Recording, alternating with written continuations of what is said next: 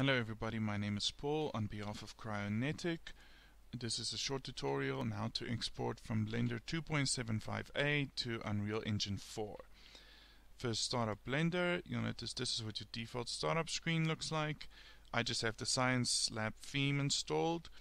Other than that, everything else should look the same. Uh, before I start, I'm just going to enable screencast keys. That way you'll be able to see which buttons I push at the bottom left here.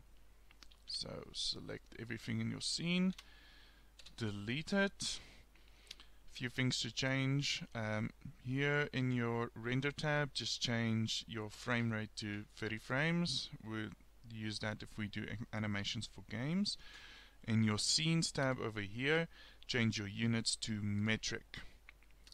Uh, you should be ready to set up your model now, so I'm just going to save my startup file. That means that every time I start this up, this is what the first thing that I'll see.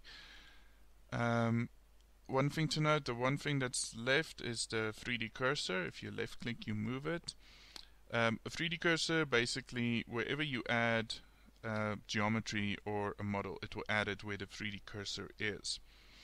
So I do not want it over there. If you want to center your 3D cursor, Shift C, and you can just add that cube again and then you'll see it's in the center of the world.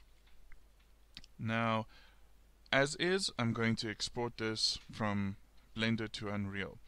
Just one thing to note before I export. If you look at the dimensions, the default dimensions 2 by 2 by 2. This is in meters. If you had any other settings on your units, it might still say 2 by 2 by 2, but it might either be inches um, or, or something completely different. So um, to leave it in metric if you want to get your, your scaling and everything right. Um, well, there we go. We're just going to click export, export FBX. It's going to go to my models folder. I'm going to call this cube test.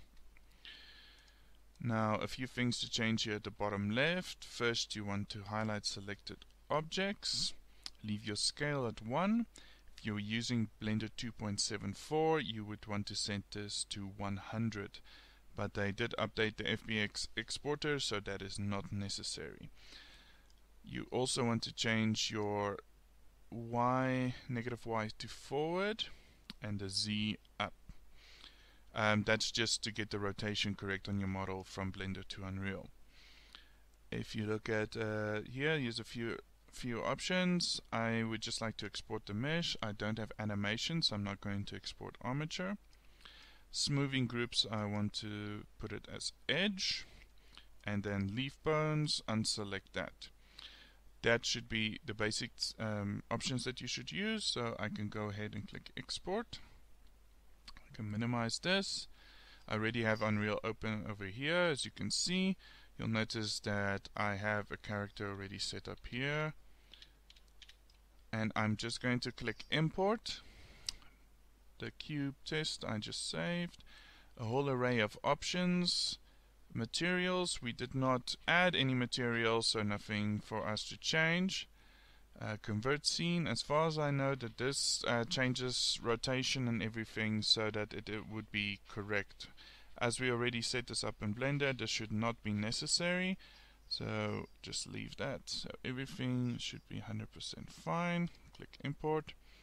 You'll still get errors. This is the result because we don't have any materials or anything else set up. So don't worry about it. You could just close that.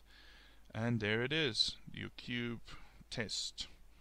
If you drag that into the world, you'll notice it's roughly a little bit taller than the main character, which as far as I know he's about 1.8, 1.9 meters tall.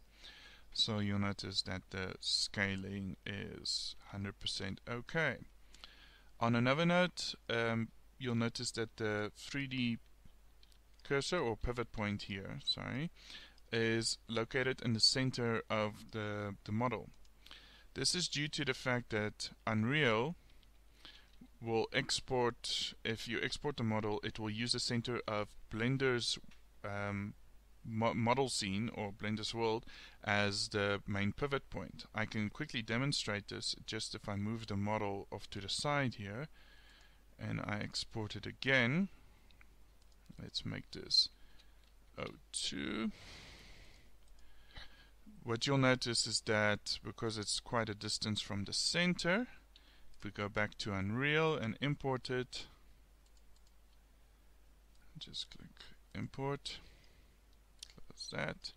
When we drag it in, its pivot point is like a completely different location. So just one thing to bear in mind when you export your model is that the center of the 3D scene or the world in Blender is used to look for your model's pivot point. There we go. That should wrap up this tutorial. I will be adding more tutorials, so please subscribe to this channel. Leave, leave a comment down below. And thank you very much for watching. Bye-bye.